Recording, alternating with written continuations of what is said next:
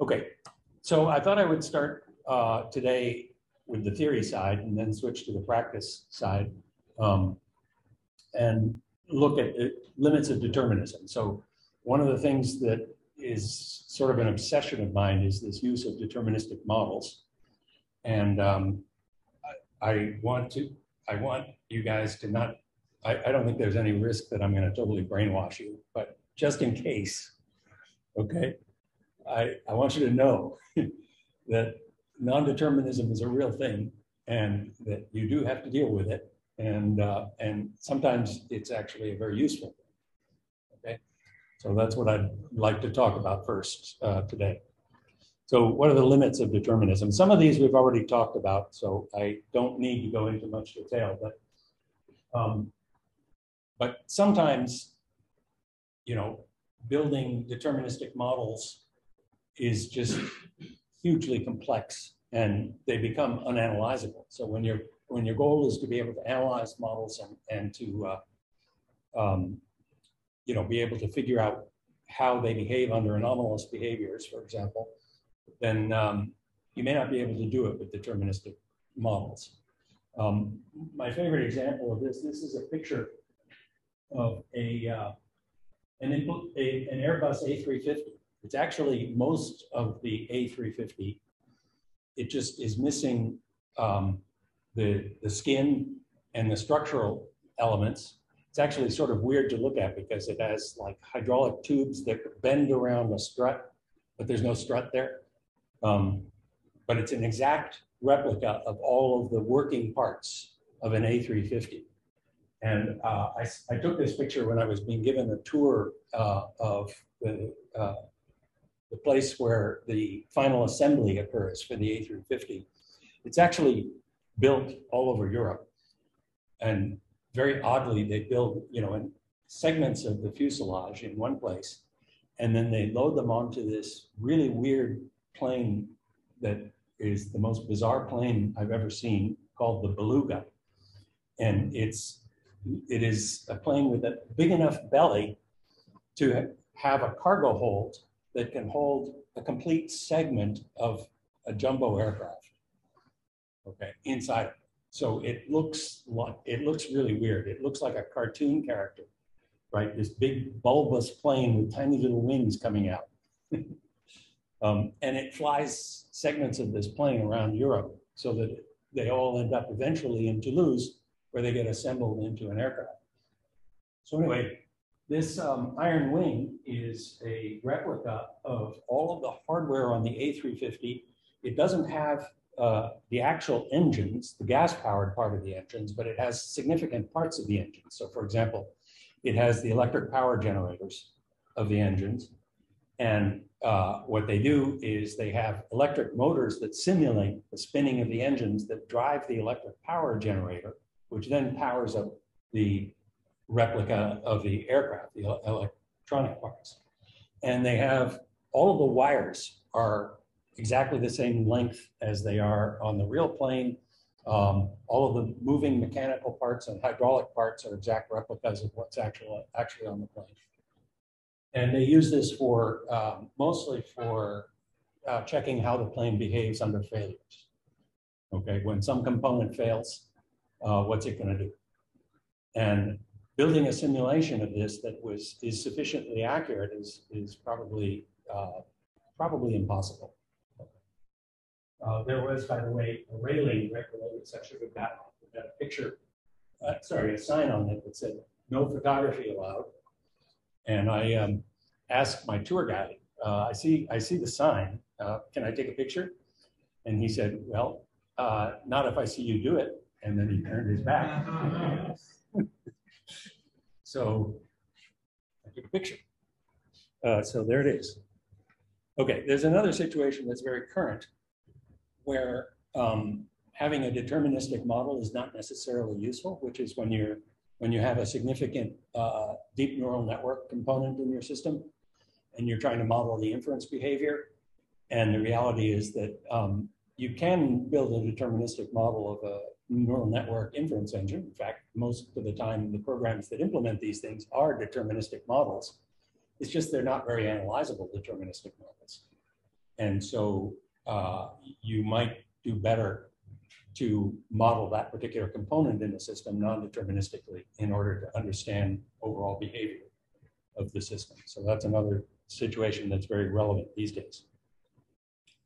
You might need non-determinism if you just don't know everything. Well, you never know everything, right? So the question is, you know, what do you want to uh, um, to leave out? Um, and in in in this circumstance, you might do well with probabilistic models. And I want to emphasize there's a, there's a difference between a non-deterministic model and a probabilistic model. Um, does anybody know what that difference is?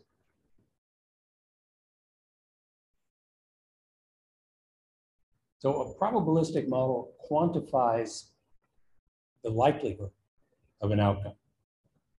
So it's about probability, whereas a non-deterministic model is only about possibility.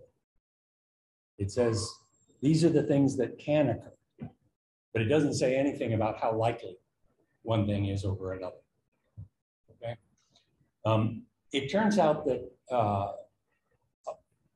large part of modern probability theory was developed by Pierre-Simon Laplace, who, who was a, a, French scientist, obviously, from the name.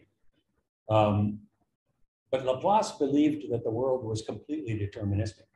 In fact, he's famous for what's now called Laplace's demon, where he said that um, if you had a, a um, an enormous intelligence that could observe the positions and momentum of all of the particles in the universe, then it would be able to predict the future and would have a complete record of the past of the universe.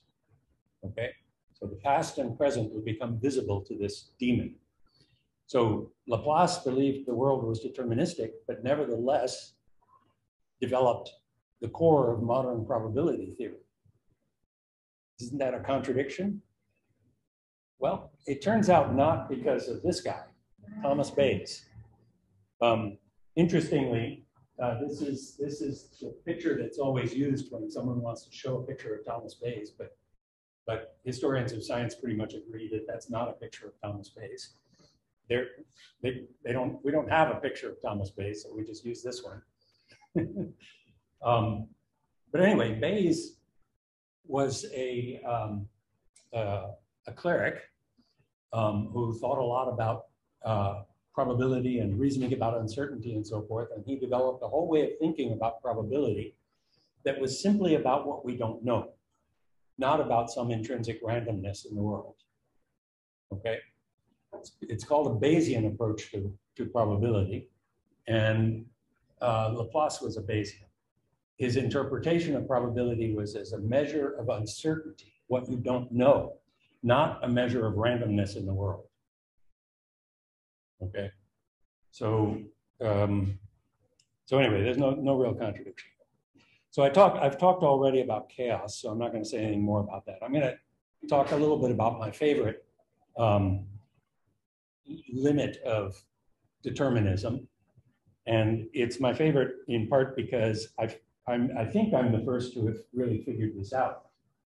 I uh, published a result in this paper uh, in 2016, which I love the fact that it's in volume one, number one of the ACM transactions on cyber physical systems, the very first issue of that journal. Okay, and it's about fun fundamental limits of cyber physical system modeling. And this paper has a result that shows that um, any set of deterministic models, if it's rich enough to describe the physical world, it's incomplete. Okay, and incomplete is a very technical term here. It's, a, it's actually a mathematical term. It means that there's holes in this set of models where non-determinism can sneak in.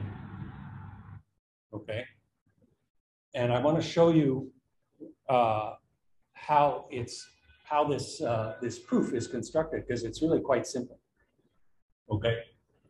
Um, it looks at a very simple physical problem under a Newtonian model of physics. So when, when I say a set of models rich enough to describe the physical world, what I mean specifically by that is that it includes Newton's laws. And a little bit more, it includes the possibility of discrete behaviors. Things like an abrupt collision, where, you know, like the disturbance in your um, in your pendulum. Okay, an instantaneous change in velocity. So any set of models that has those two things, Newton's laws plus the ability to have abrupt disturbances is incomplete. Okay, and consequently will admit non-deterministic behaviors. And I can show this by example. So consider two billiard balls right, on a frictionless table. So there, we're going to idealize these. So when they collide, there's no loss of energy. So that we're going to treat that as a discrete behavior, a collision. Okay, it's not there one instant, it is there the next instant. Okay, so um, what's your intuition? If you have a ball sitting still on a, such a table and a ball approaches it, what's going to happen when they collide? Truly.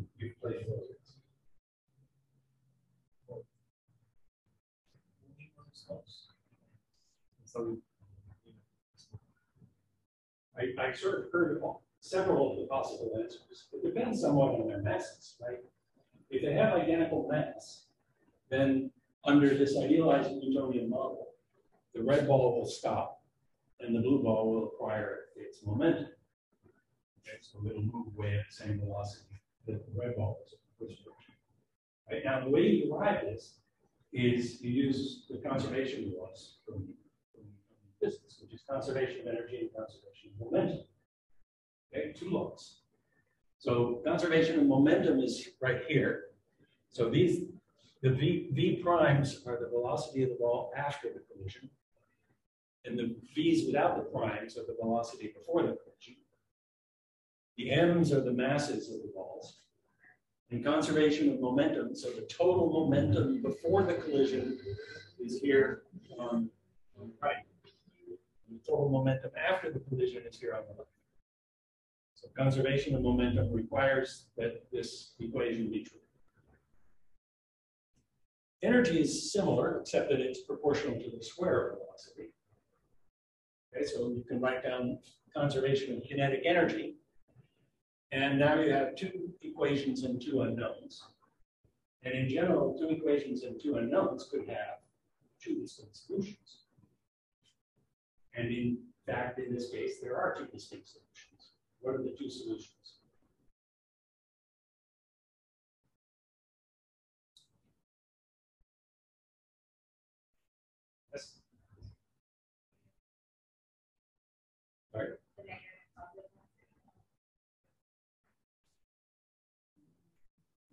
Simpler. So one of the solutions is trivially simple, okay, which is that the red ball passes right through the blue ball without interacting with it. So the velocities after the collision are the same as the velocities before the collision, and that satisfies all the equations. We call that the tunneling solution. Um, but that's not a very physical, physically satisfying the solution, right? So why don't we just say that doesn't happen? Okay, we'll rule that one out. So if we rule that one out, then there's only one possible solution.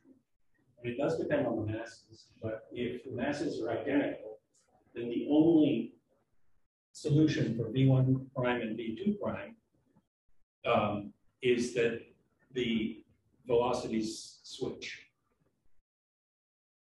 Okay? Masses. So you get a deterministic behavior you rule out the tunneling solution. So you have a deterministic model under the assumption that tunneling is not allowed. Okay, so these are the two solutions. You can write down the, the, the first solution is rather trivial. The velocities are unchanged. Second solution, you can derive it, and it does depend on the masses. And if the masses are not the same, it's a little more complicated. Both balls stay in motion, but um, it, you can derive what it's going to be.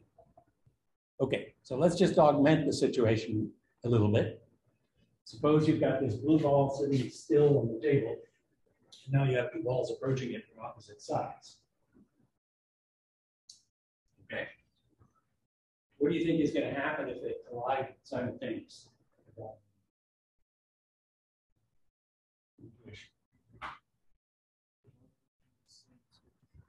They both, what? Right. Yeah. They bounce, they bounce away with the same speed. Okay, again, we rule out the tunneling possibility. And that will conserve momentum and energy. Okay? But it turns out that if you actually write down the equations now, um, we have three unknowns and two equations. And that's more problematic. Two equations is uh, under constraining the problem. And it turns out that in general, with unequal masses, there's actually an infinite number of solutions. Okay? Newton's laws don't give us a unique answer to the behavior. All right, but it gets weirder. All right. So, by the way, the way that I first discovered this was that we were uh, working on simulators for hybrid systems uh, at Berkeley. And hybrid systems are systems that mix continuous behaviors described by differential equations with discrete behaviors like mode transitions. Okay? Collisions and mode transitions are both discrete behaviors, okay? So there's this whole field of hybrid systems that works on that kind of model. And um, we were building a simulation engine that was using this notion of superdense time to give a really clean model for hybrid systems. I talked about superdense time the last time. And um, when I, I, started working on a simulation of this problem with the software that we had built, and I said, okay, well, one way to handle the two simultaneous collisions is just to handle them non-deterministically in some order, as, as if each was a two-ball collision. Okay, so I could pick to handle one of the one of the collisions, say the, the one on the left. Okay, and let's assume for the moment that all the masses are the same. So what's going to happen? When when I handle this collision, the momentum of the red ball gets transferred to the blue ball.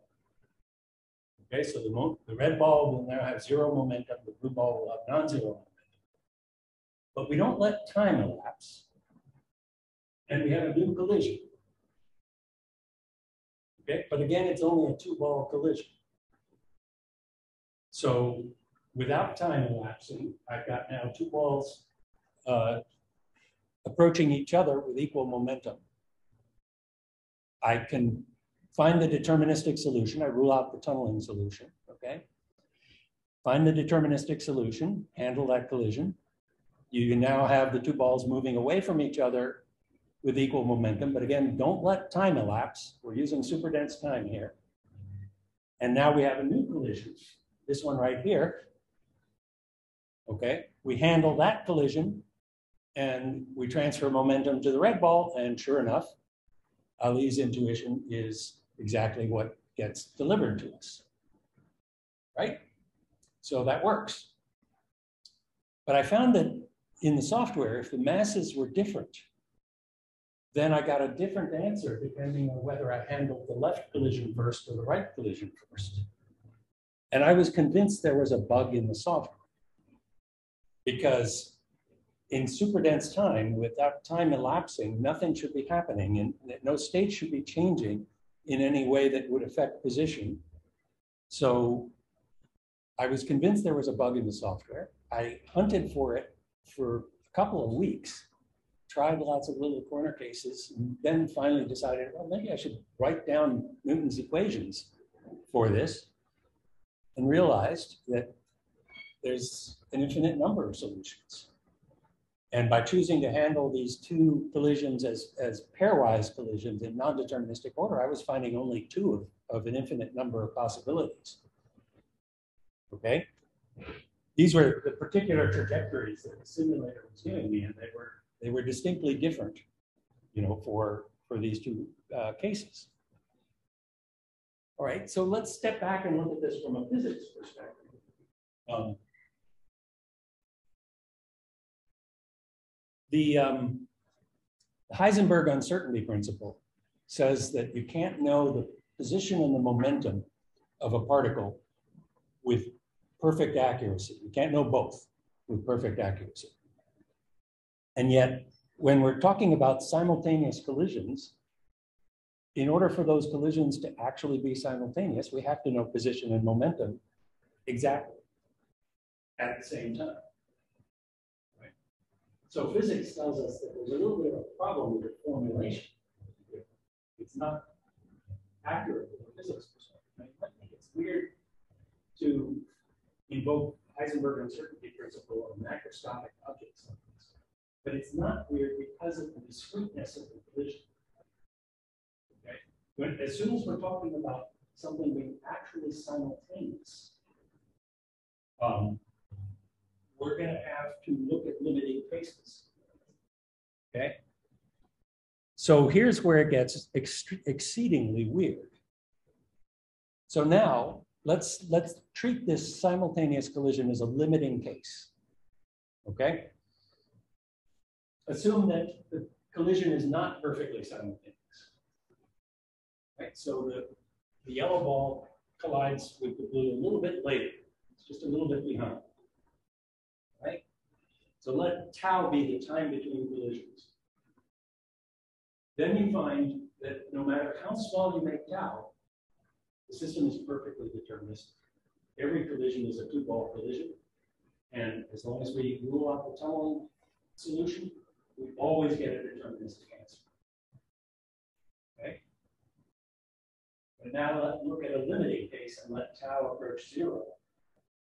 And you get a sequence of models that are become almost indistinguishable as tau gets very close to zero but you get a completely different sequence depending on whether you approach zero from the positive side or from the negative side. So you can, in fact, formally use these taus uh, to construct a sequence of models that have a particular mathematical property called the Cauchy property, which means that they're each, these models are getting closer and closer to each other. Okay which means that there should be a limit. But if the space of models is incomplete, there is no limit. It's not in the set. And that's what happens in this case. The, the model that these that this, these sequences of models seem to be converging to is not in the set of deterministic models. So the set of deterministic models is incomplete. It's got these holes.